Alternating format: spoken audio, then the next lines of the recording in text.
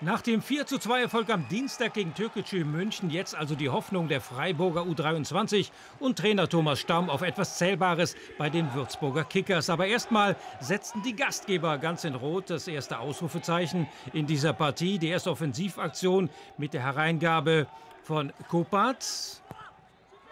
Und in der Mitte Becker, aber Atubolu mit einem Riesenreflex bewahrt die Freiburger vor dem Rückstand nach nur fünf Minuten. Noah Atubolo zum ersten Mal schon ordentlich gefordert. Knappe zehn Minuten gespielt, erster Angriff Freiburg. Risch mit dem langen Ball in Richtung Kammerbauer. Und da kommt Kraulich und bringt den Freiburger zu Fall, aber der Elfmeterpfiff blieb aus. Nochmal die Szene, da hätten sich die Würzburger nicht beschweren dürfen, wenn es Strafstoß gegeben hätte. Dessé mit 4-9 in der Startelf, Braun, Schumacher, Schmidt, Risch und Wagner von Beginn an dabei. Und mit viel Dynamik im Spiel nach vorne. Wagner, Engelhardt und dann kommt wieder Wagner und der passte. Führungstreffer für Freiburg. Durch Robert Wagner musste gegen München ja gelb gesperrt aussetzen in seinem 23. Spiel mit seinem ersten Treffer. Keine Abseitsposition. Und dann der ist 18-jährige Mittelfeldspieler mit aller Ruhe beim Abschluss. Ein perfekter Auftakt für seine Youngster-Truppe, die hier eine äußerst selbstbewusste Anfangsphase hinlegten.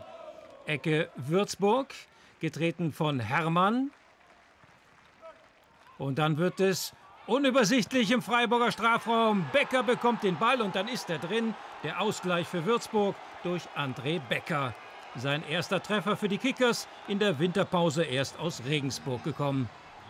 Kein Zugriff bei der Freiburger Defensive und dann nutzt Becker das Durcheinander. Unterm Strich bleibt ein allemal unnötiger Treffer aus Sicht der Gäste. Nach einer halben Stunde dann wieder die Freiburger. Der lange Ball von Braun Schumacher auf Weißhaupt. Klasse gemacht. Und dann versucht er es einfach mal, aber Bohnmann ist da. Gute Möglichkeit für Noah Weishaupt. Der traf ja zweimal gegen Türkgücü. Hier aus sehr spitzem Winkel, da wäre die Suche nach einem besser postierten Mitspieler wohl sinnvoller gewesen. Die Schlussphase der ersten Hälfte, nochmal die Kickers. Wieder Gewühl im Freiburger Strafraum, wieder Durcheinander.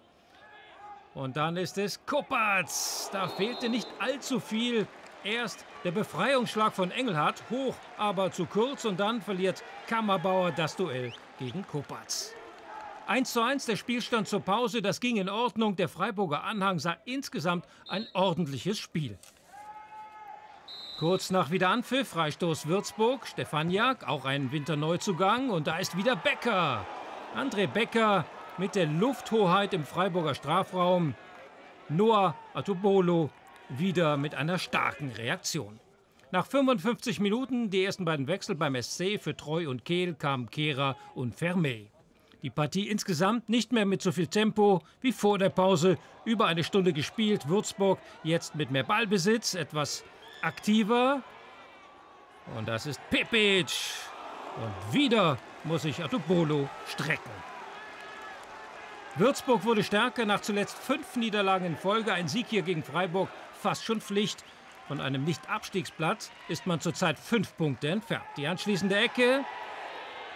Wieder Kuppertz.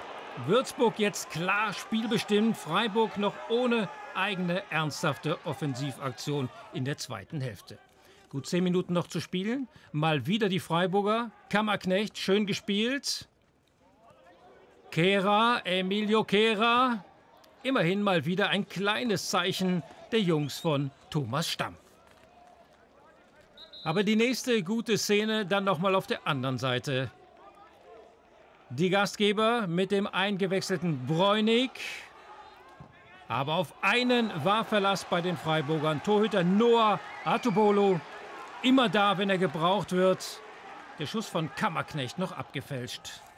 Die Nachspielzeit im Stadion am Dallenberg. Die Würzburger mit dem Schlussspurt. Nochmal der starke Kopatz setzt sich durch, aber an Noah Atubolo kommt er nicht vorbei.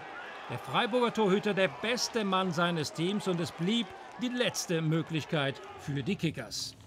Das war's In dieser Partie nach 90 Minuten 1 zu 1 der Spielstand, Punkteteilung in Würzburg aus Freiburger Sicht ein hart erkämpfter, aber nicht unverdienter Auswärtspunkt.